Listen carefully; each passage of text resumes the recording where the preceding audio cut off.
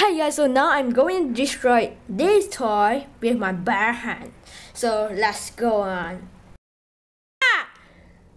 Holy! See that? And thanks for watching. This is I don't know how to say that.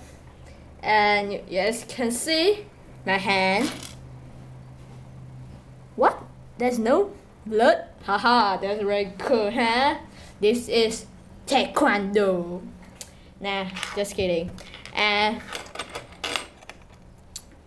so happy April Fool and hope you guys like it.